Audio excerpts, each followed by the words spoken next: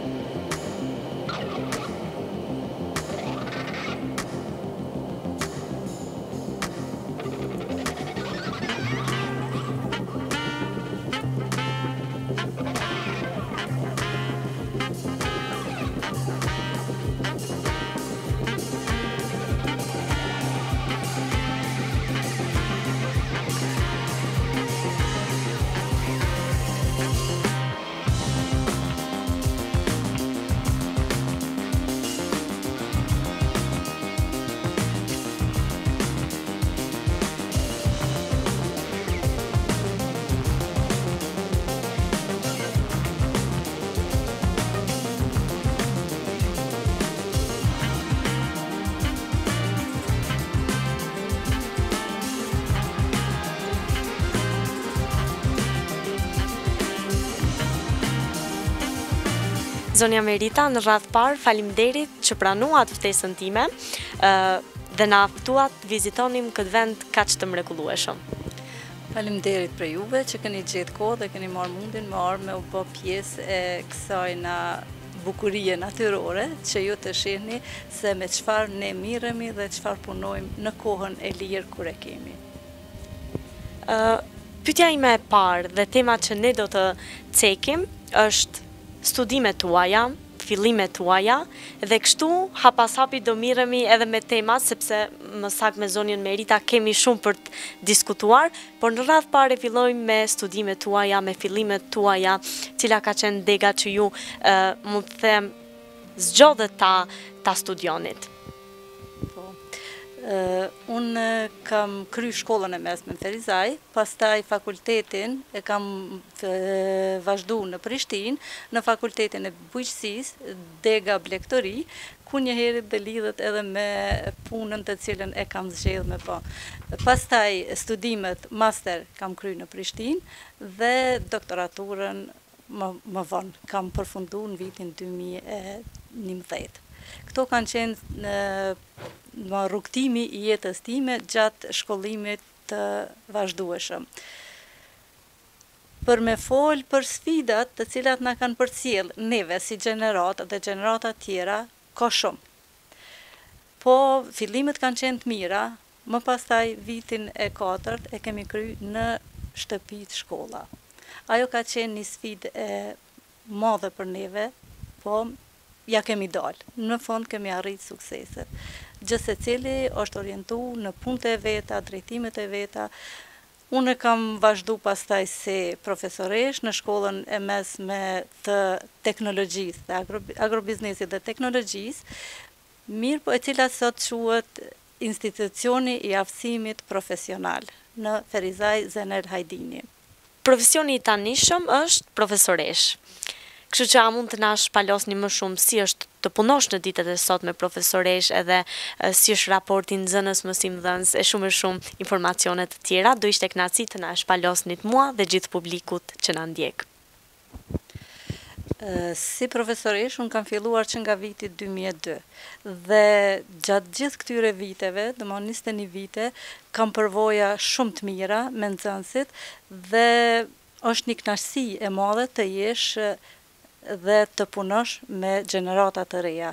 Ke çka fokuson te ta, ke çka nxjerr prej tyre dhe më e mira është se duhet të japësh shumë dashuri për të marrë më të mirën e tyre. Për të zbulu një botë të rinjve është një kënaqësi e madhe.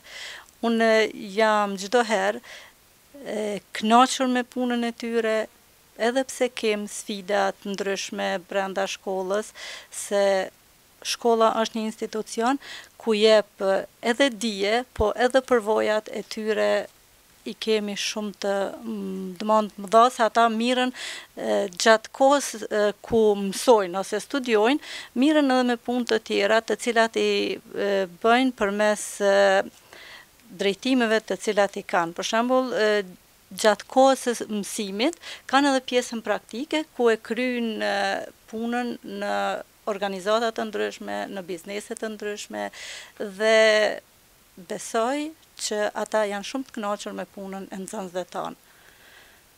Sa i përket punës dhe motivimit që ne mundohemi të shpërndajmë tek nxënësit, është ajo që Duke punu në punë të dytësore, i motivojmë edhe vajzat edhe djemtë që të merren edhe ata me punë profesionale të cilat i kryjnë dhe të bëjnë diçka më më shumë se sa që profesionin të cilin e kryjnë. Për këtë arsye diplomat e tyre njihen ndërkombëtarisht dhe kanë mundësi që pas mbarimit të shkollës të mujnë të punësohen më lehtë dhe të vazhdojnë edhe pse jo edhe jashtë vendit ku të kanë mundësi që të gjejnë punë të ndryshme. Pyetja ime lidhet shumë me aftësimin e studentave. Sa kemi të interesuar në drejtimin që ju edhe mësoni? Sa kemi nxënës të interesuar, prindër të interesuar që duan që fëmija i tyre të jetë në këtë lloj drejtimi. Interesimi ni kohë më herët ka qenë ma i madh, pastaj unë e gjej edhe një pengesë te prindërit, të cilët nuk janë në gjendje që fëmijët e tyre t'i orientojnë në drejtimet profesionale, se jo të gjithë duhet të bëhen mjekë ose arkitektë apo profesione të ndryshme, Po, duke kry një drejtim profesional, ai ka mundësi që të kyçet më herët në punë dhe të vazhdojë pse jo dhe studime të tjera. Asgjë nuk e penalizon nëse një nxënës e kry një drejtim profesional dhe vazhdon me studime më tutje. Ne bëjmë apel te prindërit dhe të rijtë që të drejtohen, të orientohen në drejtimet profesionale për arsye se E ardhmja është tek drejtimet profesionale. Sa e kënaqshme është për juve si profesoreshë kur shihni që keni studentë të interesuar, studentë që duan të informohen në rreth gjithë spjegimit tuaj, mund të themi që janë të interesuar për një të ardhme të ndritur. Sa e kënaqshme është për ju? Të them të drejtën, për ne është shumë kënaqësi e madhe nëse shohim interesim të madh tek të rijtë të cilët vijnë me vetëdëshirë dhe orientohen neve na tregojnë se jam i interesuar po për këtë drejtim dhe këtë vit me fol të drejtën kemi pas më shumë interesim dhe po shohim se ka fillon një një ndryshim tek mentaliteti i jonë në përgjithësi. Patjetër që edhe duhet të cekur që shkollat profesionale gjithmonë aftësojnë më shumë studentin se sa gjimnazet për shkak që patjetër që mësojmë lëndë të përgjithshme, por në shkollat profesionale edhe bëhen praktika të ndryshme, e këtu si nënpyetje do ishte, sa ndihmojnë praktikat që nxënësit bëjnë në aftësimin e profesionit saktësisht?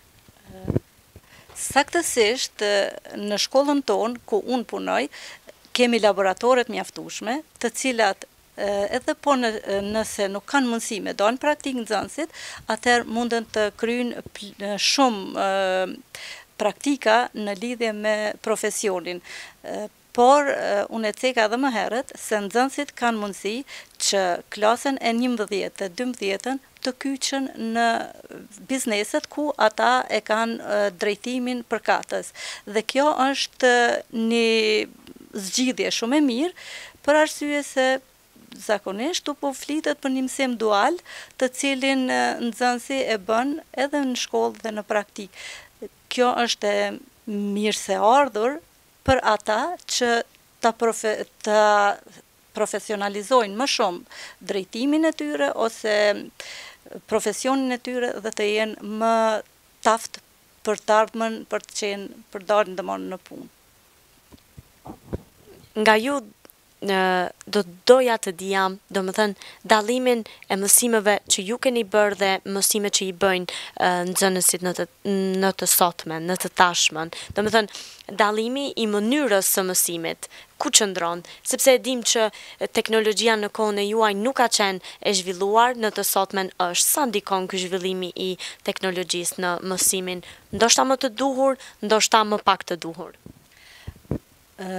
Teknologjia natyrisht se ndikon për anë të mirë apo pozitive për arsye se në kohën kur ne kemi studiu edhe pse kemi pas drejtimet shumë të mira, në fakt unë kom kry drejtimin biologji, po nuk kam pas mundësi asnjëherë me qenë në ni laborator, kurse sot nxënësit tanë kanë mundësi që në momentin e parë me ba analiza të ndryshme, me pa konkretisht punën të cilin ata e bëjnë dhe mësimet të cilat i përcjellin vazhdimisht me qenë në raport me kohën, me qenë shumë të gatshëm me marrë përgjigjen e duhur dhe me dhënë atë më të mirë nga vetja e tyre. Teknologjia ndikon pozitivisht edhe për atë arsye se te informacioni sot mrrim shumë më shpejt se sa në kohën kur unë kam studiuar. Ndërsa tani do të kalojmë tek një pjesë shumë e dashur e juaj, që është vetë bletaria. Më thoni si ka filluar, sa sa e kënaqshme është për ju të merreni me bletët e shumë e shumë detaje të tjera. Për me u marrë me bletari, në fakt ka qenë një kohë më e hershme pak kur unë kam qenë në bisedime me dajën tim të ndjerë, i cili është marrë me bletë që nga viti një mijë e nëntëqind e tetëdhjetë e pesë. Dhe çdo herë kur unë shkojsha atje, Pasha që është një dashuri e madhe ndaj bletës dhe kjo ka qenë motivi edhe shtytëse që ne jemi kemi pas qenë në bisedime më herët për të bë bashkë biznesin. Mirëpo ndodhi një fatkeqësi dhe ai sot nuk jeton, kështu që ne i morëm bletët e tij dhe vazhduam si e vazhduam këtë punë si një lloj amaneti të cilin e kemi pasën prej tij. Kjo ka qenë ajo mundësia që na e bëm të parën mos me lanë bletët e tij me shku dikund tjetër. Pra, domthon është viti i katërt që ne mirremi me me këto, me këtë veprimtari dhe kemi Zakonisht tek bletët nuk nuk mjafton vetëm dashuria, duhet edhe punë. Për këtë arsye duhet me qenë shumë koshient dhe me ditën me u marrë me me punët në kohën e duhur për me pasë rezultat ose prodhimtari më të mirë të mjaltit dhe produkteve të tjera të cilat i nxjerrim nga bleta. A duhet të ketë frikë njeriu nga bletat? Ju që jeni të ambientuar me bletët edhe ju që jeni afër bletëve, sa ekziston frika e njeriut ndaj bletëve? Unë ju kisha bë thirrje njerëzve që mos të kenë frikë nga bleta, se bleta vetëm kur ndihet e rrezikuar të thumbon. Në momente të caktuara nuk të pengon, ajo ka punën e vet, por në ato momente që ndihet e rrezikuar, atëherë normal që duhet me prit thumbimin, po vetëm personat të cilët janë alergjikë ndaj bletëve, është mirë që të kenë kujdes, të tjerët nuk është se kanë diçka specifike pse thumbon një bletë, se shpesh herë thuhet që pickimet e bletës janë si një lloj injeksioni të cilin të ndihmon për organizëm, jo se me pas diçka të dëmshme, thumbimi ndaj bletës. Këtu shohim domethënë kopshtin e bletëve, a mund të na tregoni se sa bletë janë pjesëtare në këtë kopësht dhe kam informacion që keni dhe një kopsht tjetër të zgjeruar, a mund të na jepni më shumë informacione sa bletë janë gjithsej, sa lehtë janë të menaxhueshme, lehtë nuk janë aspak, por mund të na tregoni më shumë ecurinë e punës me to. Në këtë parkun e bletëve, këtu janë dikund tetëdhjetë bletë dhe një pjesë tjetër e kemi dhe në një fshat të Drenicës, Berishë, është edhe një numër tjetër i tyre, Për të qenë të menaxhueshme nuk është fort e lehtë, po me dashuri dhe mund i arrijmë të gjitha.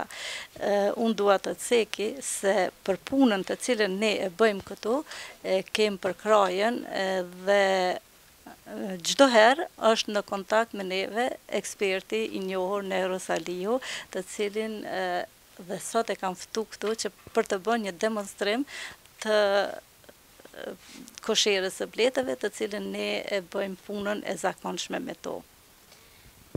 Me sa koshere keni filluar fillimisht dhe sa janë zgjeruar tani? Këto shifrat varirojnë, ne kemi fillu me tetëdhjetë, pastaj kanë shku një numër më i madh, po duke Kushtet atmosferike janë ato të cilat edhe na paraqesin pengesa dhe kemi pas një, në pranverën e këtij viti kemi pas një pjesë humbje të bletëve, mirëpo gradualisht kemi rikuperu shoqërinë e bletëve dhe kemi rrit prapë numrin, këtu i kemi diku në njëqind e njëzet bleta këtë vit.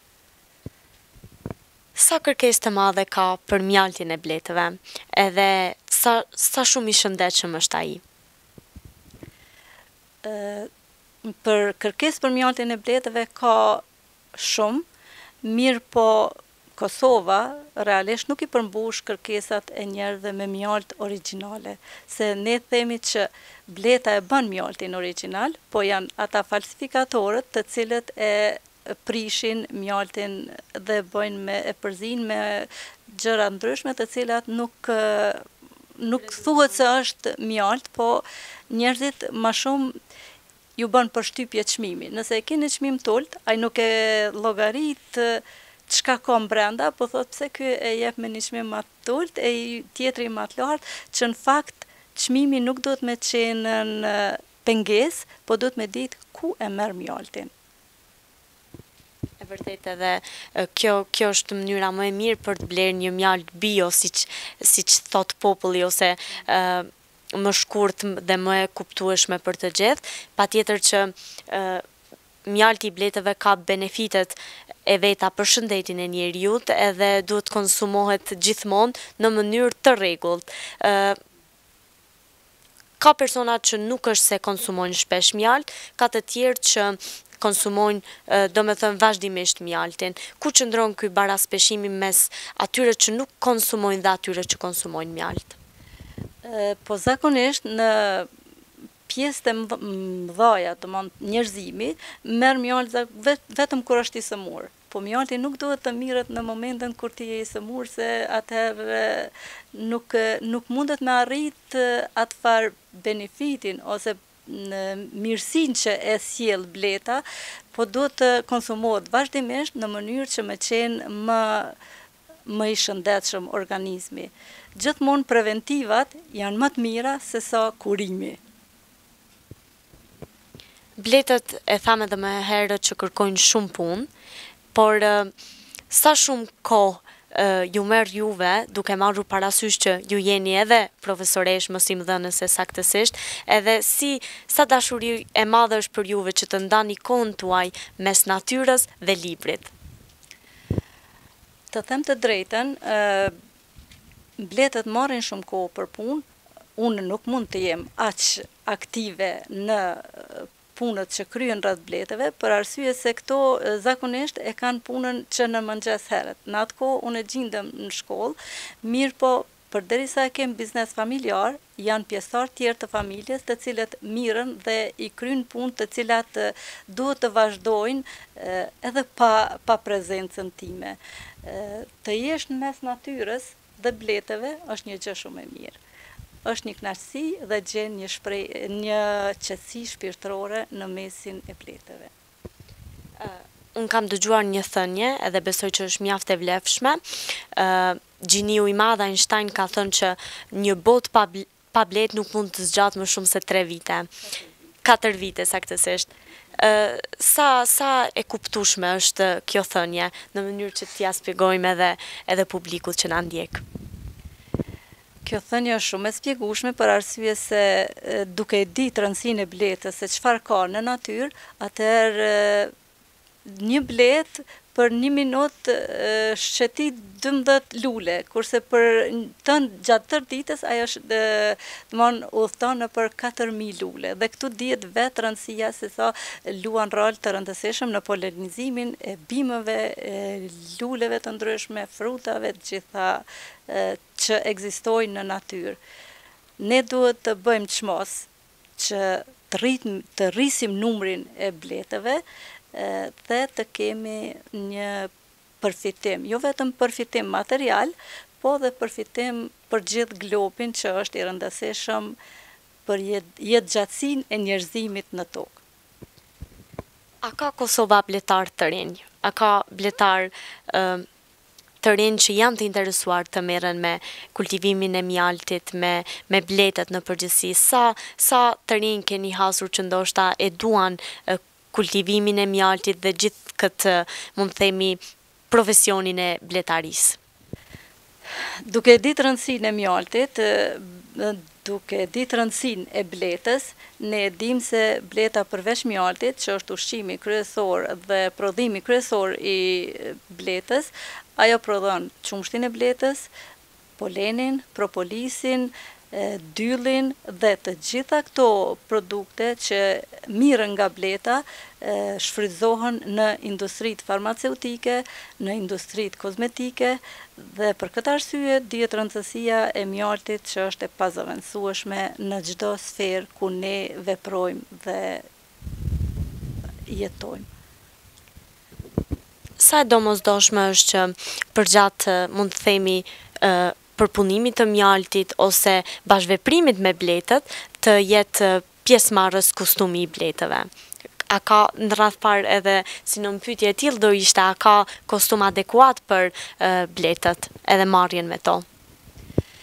Sa i përket konsumit, kostumit të bletëve, po, ka kostum të bletëve dhe është shumë i domosdoshëm, po ka persona të cilët nuk e përdorin se nuk e kanë frikën e bletëve, përdorin vetëm kapelën dhe pjesët e tjera nuk është shumë rrezik po për tu mbrojt ka dorëzat veshja komplet dhe me qenë sa më i sigurt nga thumbimet e bletës.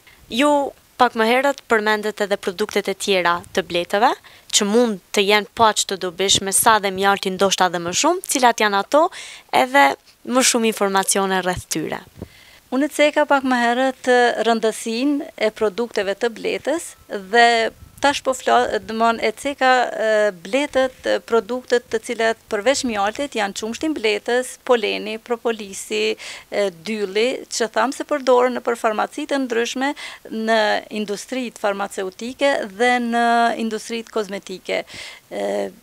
Dylli i bletës ka rëndësi shumë të madhe se nuk tek bletët asgjë nuk gjuhet poshtë po përdoret prapë për prodhimin e atyne fletëzave të dyllit të cilët i vendosim nëpër koshere pastaj qumështi i bletës ka rëndësinë e saj të veçantë është një ushqim i pazëvendësueshëm për bletën dhe për njerëzit njëkohësisht konsiderohet si mrekulli e cila gratë të cilat kanë probleme me shtatzëni, pastaj persona që vuajnë nga kanceri, sidomos propolisi ka marrë një rëndësi shumë të veçantë, në vende të ndryshme është përdor edhe më herët, mirëpo prej kohës së pandemisë ka fillu të përdoret dhe të njerëzit të vetëdijsohen për arsye se çmimi i tij nuk është i lartë dhe mbron prej ftofjeve të ndryshme, pastaj kemi polenin, i cili mblidhet nga bletët, edhe ai përdoret për shumë sëmundje të ndryshme, por njëherit ka dhe përparësitë e tij që është si preventivë për ndalim të sëmundjeve të ndryshme të cilat zakonisht na përcjellin në kohërat e vjeshtës dhe pranverës së hershme. Pra, le të mbetet ky edhe një mesazh për të gjithë ata që na ndjeku, që na ndjekin që përveç mjaltës që është jashtëzakonisht e shëndetshme, prodhimet e tjera që furnizon bleta janë Akoma dhe më të dobishme, nuk mund themi në barazim të njëjtë me mjaltin, por edhe me sëmundje të ndryshme që njeriu has në gjithë procesin e tij jetësor. Në kuadër të biznesit tuaj me bletarinë ose saktësisht bletët, ju keni cekur edhe më herët dhe nga bashkëbisedimi ynë më parë për një biznes në kuadër të kësaj me lajthiat. A mund të na tregoni më shumë informacione rreth këtij biznesi? Në këtë plantacion ndodhen dikun pesë hektarë lajthi dhe jemi dy biznese, domon dy fermere të cilat e ushtrojmë veprimtarinë këtu. Unë me bletë dhe zonja Advije Berisha e cila mirret me kultivimin e lajthisë. Të themi një gjë shumë të rëndësishme, e kemi pa t'udhës që të bashkëveprojmë dyjat si si shoqëri në mes vete, për arsye se lajthia është e para prej të gjitha pemëve që lulëzon nga fundi i janarit ka fillimi i shkurtit dhe për bletët kjo është një shtycë e madhe dhe një fillim i ri i vitit që merr polen dhe njëherit edhe benefitet që i ka lajthia prej bletës se e bën polenizimin e tyre. Si shkon ky procesi me pemët e lajthisë edhe sa vjeçare janë këto pemë ose ky plantacion që ne shohim tani mbrapa pamjes tonë? Plantacioni është pesë vjeçar, domthon viti i pestë është ky dhe çdo vit fillon të rritet prodhimtaria, edhe pse kemi pasë sfida të ndryshme në lidhje me ujin, ka pak vështirësi, mirëpo ne kemi bë një zgjidhje, këtu është një vend ku nuk ka rrymë dhe gjithmonë duhet me qenë ti në mundësi me me ba një zgjidhje për me siguru rrymën, i kemi solartë, mirëpo duhet të jemi gjithmonë të angazhuar ta dimë që lajthitë mos të mbeten pa ujitje, sepse atëherë dështon fruti, dështojmë ne me prodhimin final, mirëpo këtë vit ka qenë dhe një përparësi shumë e madhe se ka pas edhe të reshura atmosferike, që për lajthitë ka qenë e mirë, mirëpo për bletët ka qenë një sfidë më vete, se duke u nisë prej kësaj zakonisht dihet që bletët i kushtet atmosferike janë ato të cilat neve na diktojnë a do marrim mjaltë apo nuk do të marrim mjaltë, sado që mund të jemi të angazhuar tek Bletët, prapë se prapë kushtet atmosferike janë ato të cilat e diktojnë prodhimtarinë që ne e marrim. A kërkon po aq shumë angazhim lajthia sa bletët? Domethënë si është ky krahasimi? Si është mbledhja e lajthive? A mund të na jepni më shumë informacione rreth vetë frutit të lajthisë? Natyrisht që kërkon angazhim për arsye se duhet me me i përcjell vazhdimisht a po ka probleme me sëmundje të ndryshme, a ka probleme me ujitjen, a pastaj duhet me fillu me spërkatje të ndryshme, në kohën kur ne i kemi bletët duhet me pas parasysh që me i rujtën mos me ba ni ni dam në njërën pjesë me ba mirë e në tjetrën me ba ni dam, këto janë gjitha ato sfida po ne i kemi arritë edhe i menaxhojmë shumë mirë këtë punë dhe asnjëherë nuk kemi humbje të bletëve në lidhje me kujdesin që bëhet ndaj lajthive. Tash është koha e fillimit të vjeljes së lajthive dhe po presim që ka me qenë një vit më i mirë dhe më i mbarë sesa vitet e tjera. A është shumë e mundimshme mbledhja e lajthive, domethënë duke pasur edhe parasysh që është një tokë shumë e gjerë, shumë e madhe edhe sa sa ditë mund të themi merr komplet mbledhja e gjithë lajthive? Sa ditë merr, aty varet nge nga numri i personave të cilët apo i punëtorëve të cilët marrin pjesë në vjeljen e lajthive, mirëpo Duke u nisë që këto ende janë të vogla, ne mund ta kryjmë prapë me sukses, po vitet e ardhshme synojmë dhe mendojmë që duhet të bëjmë një zgjidhje tjetër, me mbledhë në forma të ndryshme, me ato pajisje të cilat janë për lajthi, po këtë vit e kemi prapë në mënyrë manuale mbledhjen e lajthive.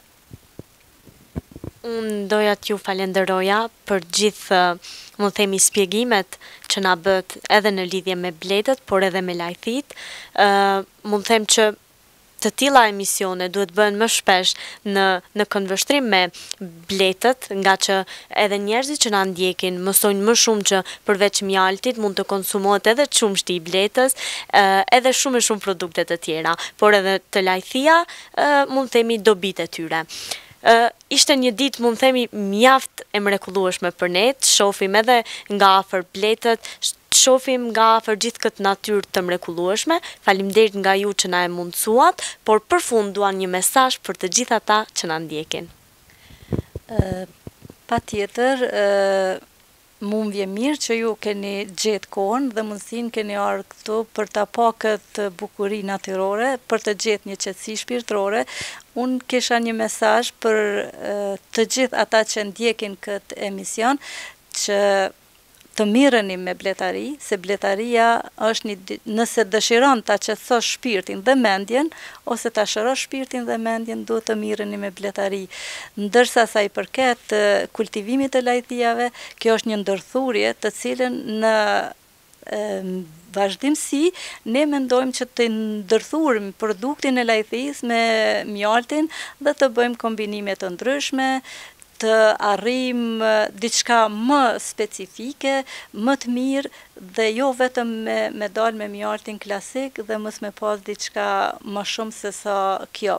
Mirëpo, ne nuk do ndalemi, ne kem projekte të tjera në vazhdimësi, siç është edhe apiterapia, të cilën e kemi në projektin e ardhshëm që do vazhdojmë dhe me t'i shohim të gjitha përparësitë të cilat i jep apiterapia për shëndetin e njeriut. Ju faleminderit. Faleminderit dhe juve dhe ne do jemi pas projekteve tuaja duke treguar publikut gjithë punën tuaj. Ishte kënaqësi për ne. Pra jemi në bletishten e zonjës Merita Jonuzit, këtu ka një numër të konsiderushëm të shoqërive të bletëve, është momenti kur ka përfundu vjelja e mjaltit, do thotë dikun kah fundi i mujit gusht, dhe tash po ban përgaditjet për dimrim të shoqërive të bletëve. Këtu do të hapim një koshere, do të shohim se përafërsisht çka përmban ajo koshere dhe besoj se do të jeni imun ndaj pickimeve nëse do të jenë eventuale, po megjithatë do t'i përballoni. Zakonisht kosherën bletarët e hapin në këtë mënyrë. Kjo që po shihni nalt është një kuti ushqyese apo ne i themi ushqimore, vendoset në këtë tavanin e bletëve, ku bletarët pasi të përfundon vjelja e mjaltit me qëllim të ushqimit dhe përgatitjes së shoqërisë së bletëve për dimrim, i ushqejnë me shurup sheqeri për të kriju rezerva të mjaftueshme që bletët të dimrojnë gjatë dimrit me sukses. Mirëpo njëkohësisht ipen edhe disa barna të cilat do të shërbejnë për ta mbrojt shëndetin e bletës si nga problemet e varroës, barkqitjes dhe sëmundjeve të tjera të cilat janë prezente tek bletët. Mirëpo gjithsesi bletët duhet të krijojnë një ushqim rezervash të mjaftueshme për të dimru me sukses dhe ajo sasi e rezervave duhet të jetë diku së paku mbi dy trembëdhjetë kilogramë për një shoqni mbi mesatare. Prandaj, ne do të hapim tash një koshere edhe pse këtu ende nuk ka përfundu në tërësi pregaditja për dimrim ose ushqimi, mirëpo këtu do të shihni një një bletë, unë kisha lutë kamermanin në qoftë se do të mund të afrohet, dhe të shohim përafërsisht se çka përmban kjo koshere.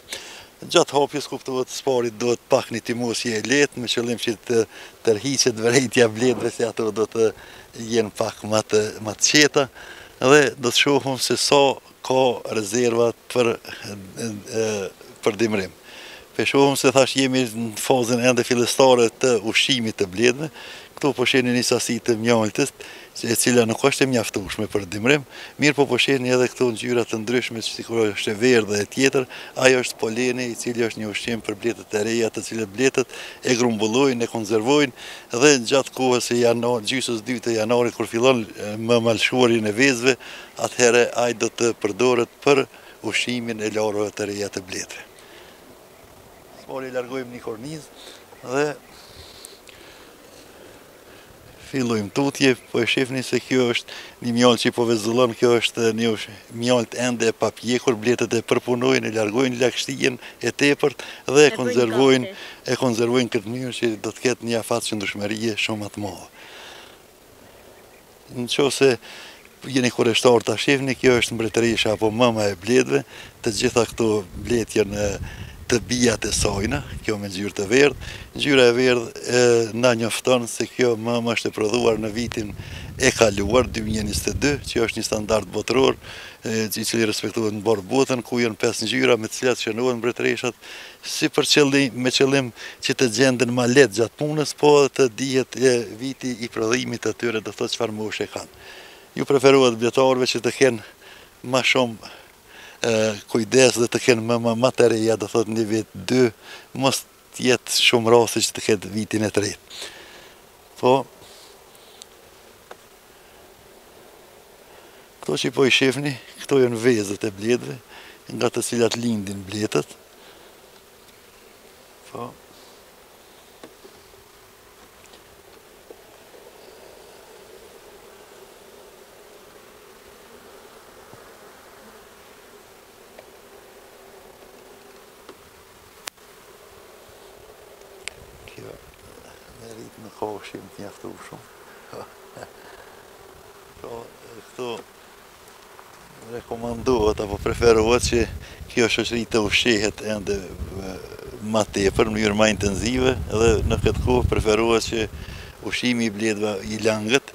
ose shurup sheqeri të jetë në përmasa dy kilogramë sheqer një liter ujë, me qëllim që bletët të mundohen ma pak dhe ta përpunojnë atë ma lehtë për dimër. Kjo shoqëri në rastin konkret, pasi që ka fillu para pak ditësh të ushqehet, nuk ka rezerva të mjaftueshme për të kalu dimrin, mirëpo sigurisht afati optimal është dikun deri ka gjysma e shtatorit ku duhet të përfundohen punët me ushqim dhe në këtë mënyrë Besoj se do të krijohen rezerva që i përmendëm ma herët, dikun rreth pesëmbëdhjetë kilogramë për një shoqëri.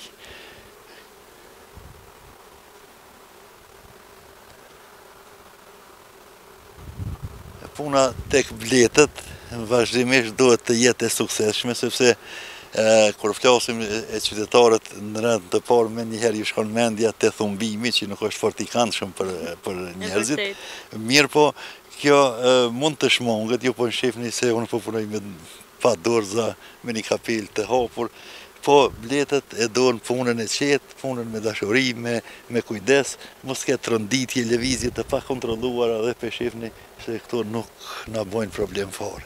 Domethënë edhe punimi me to të jetë në gjendje stabile. Patjetër, patjetër puna me bletë duhet të jetë e qetë, edhe pa frikë, sepse Organizmi jonë liron adrenalinën, të cilën bletët e ndjejnë dhe në momente kur ne frikësohemi, ato na sulmojnë edhe ma tepër. Prandaj frika nuk ka vend te puna me bletë, se zakonisht thuhet se bletë, puna me bletë qetëson mendjen tonë dhe shpirtin tonë, kështu që Zakonisht ata bletarët kur punojnë me bletë nuk mendojnë për asgjë tjetër, do thotë hyjnë në botën e bletës dhe çdo gjë tjetër janë. Dhe çdo gjë tjetër pushon, kështu që ajo është lidhja ma e mirë mes bletarit dhe bletës. Ju falemnderojmë shumë për gjithë këtë informacion dhe për shfaqjen e bletave neve dhe publikut. Faleminderit dhe për ju. Unë kam një kërkesë, në qoftë se mund të them. Patjetër. Mjetet e informimit e sidomos ato elektronike Është mirë që të bëjnë pak një prezantim më të madh, të bëjnë një afirmim të kësaj lamie për të cilën shembull më së paku dihet tek qytetarët. A është një lami shumë e gjerë, shumë interesante dhe shumë e dobishme. Ndoshta jo aq fitimprurëse sa ndoshta janë lami tjera, mirëpo është ajo e cila mban në jetë njerëzimin. E vërtetë, faleminderit dhe juve, ishte kënaqësi!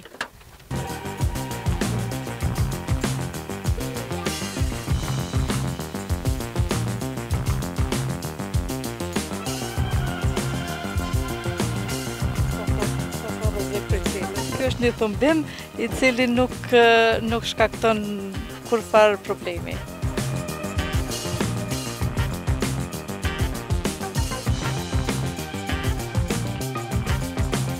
Atëherë të dashur miq ishte kjo e tëra ç'kemi përgatitur për të hënën e sotme.